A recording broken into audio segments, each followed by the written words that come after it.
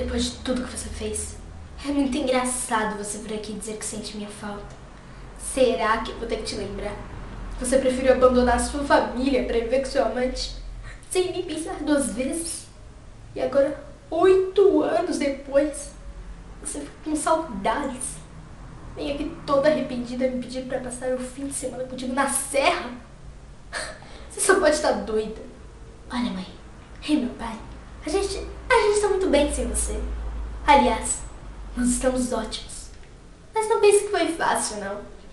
Foi muito duro aturar os olhares, as risadas, os comentários na escola, no elevador, no clube. Você não sabe a vergonha que eu senti. E o vazio que ficou dentro de mim depois que você foi embora atrás daquele cara. Você. Você era minha mãe, droga.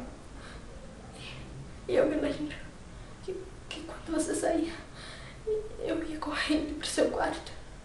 Abria o seu armário só pra ver suas roupas. Algumas. Algumas ainda tinham seu perfume. Então, então eu pegava aquele seu vestido florido, que eu sabia que era seu favorito, e vestia. Calçava seus sapatos, passava seu batom. Tudo que eu queria era ser tão linda quanto você. Tudo, tudo que eu sempre quis na vida foi ser igualzinha a você. Mas. Mas você não estava muito preocupada com isso, né? Tava se lixando pra mim. Só se importava em ver o seu grande amor. Cadê seu amante agora, hein? Ao contrário de você, ele preferiu viver com a família dele. Mas você, você. Olha, mamãezinha.